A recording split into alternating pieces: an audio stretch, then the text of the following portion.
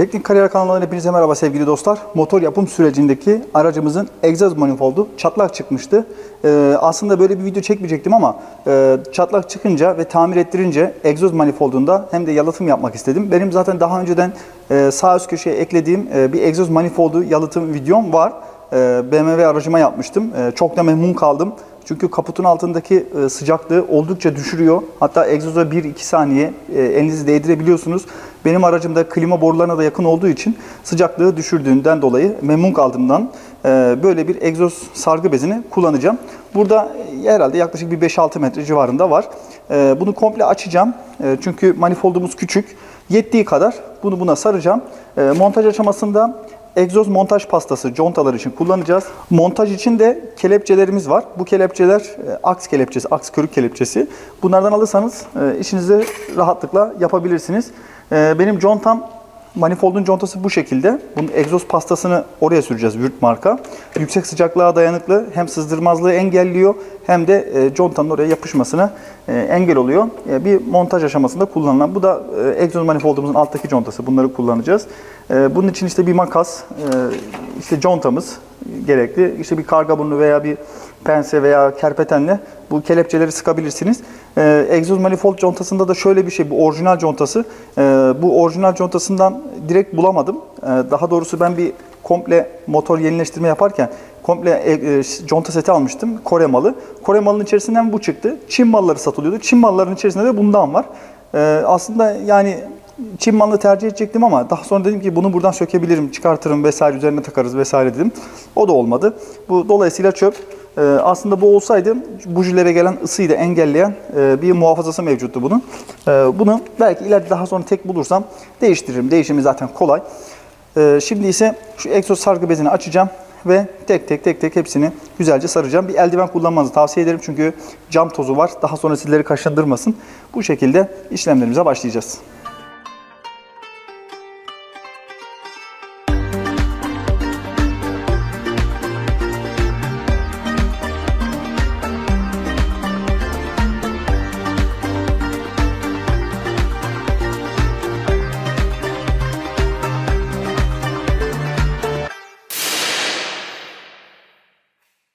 Şöyle gördüğünüz gibi bakın burayı kaynattırdım.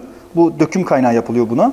Ee, kaynakçılara götürürseniz çatlak egzozunuzu kaynatabilirsiniz. Ee, egzozum benim buradan boydan boya arkalı önlü çatlaktı. Ee, ara sıra da duman çıkıyordu ama muhafaza olduğu için göremiyordum.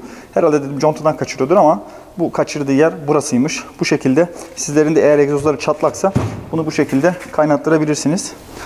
Sargı bezini alırken de metre usulü almayın pahalıya gelir. Ee, daha önceki videomda da söylemiştim ben. Ee, tersane bölgelerinde yaşıyorsanız veya tersane bölgelerine yakınsanız oradan izolasyoncuya giderseniz izolasyoncudan bunu rahatlıkla temin edebilirsiniz.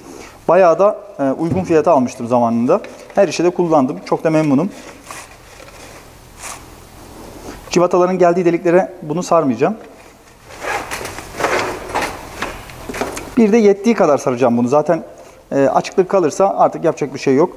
Bunu da bu şekilde saracağım.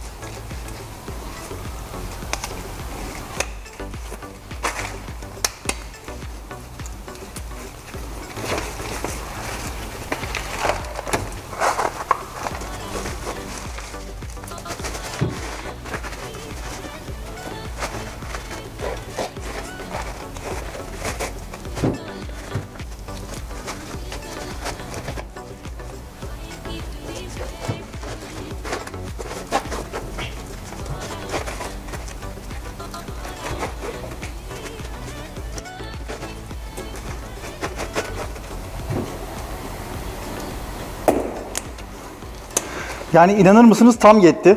Belki şuraya bir tur daha atsaydım belki daha iyi olurdu ama e, şu an hemen hemen her yerine asıl önemli olan yer yukarısı. Yukarıdaki bölgelerin her tarafına bunu sardım. Şimdi şu son bölümden güzel bir kelepçe atacağım. Şu şekilde. Şimdi ise kelepçemi şöyle şu şekilde sıkacağım biraz. Evet bu şekilde kelepçelerini atacağım tek tek birçok noktasından. Daha sonrasında da işlemimi bitireceğim ve montaj aşamasına geçeceğim. Ee, 4 tane kelepçe, bir tanesi büyük olmak kaydıyla e, 4 kelepçeyle işimi bitirdim. Kelepçelerimi attım. Zaten e, bir baş kısmı bir de son kısmını atarsanız bir de orta kısmından desteklediğinizde bu iş tamam oluyor. Hatta bir tane de kelepçem arttı. Ee, şimdi ise buradaki contama şu şekilde egzoz pastası süreceğim. Normalde ısıya dayanıklı gres de sürebilirsiniz ama bu ısıya dayanıklı gresler çok pahalı. Ee, bunun da fiyatı yaklaşık 120 liraydı herhalde. Ee, o şekilde almıştım. 700 dereceye kadar da dayanıyor. Egzoz contalar için yapılmış bir şey.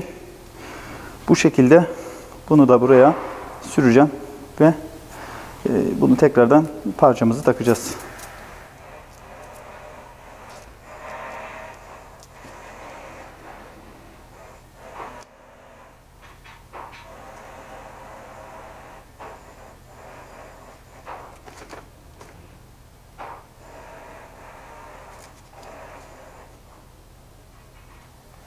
Evet gördüğünüz gibi her iki tarafa da sürdüm ve işlemim tamam.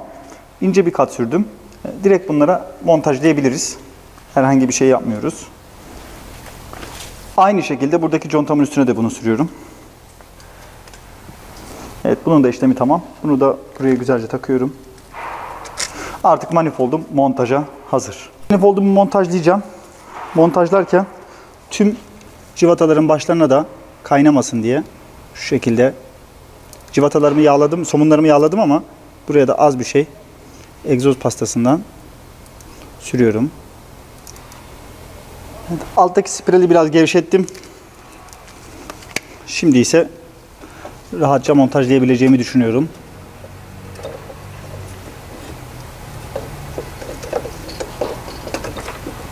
Evet gördüğünüz gibi çok rahat bir şekilde geçti.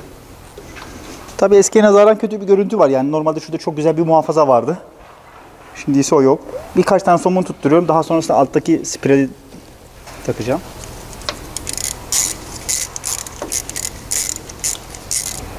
Bir de söylemem gereken şu nokta var. Bunlarda bakır somun kullanılıyor.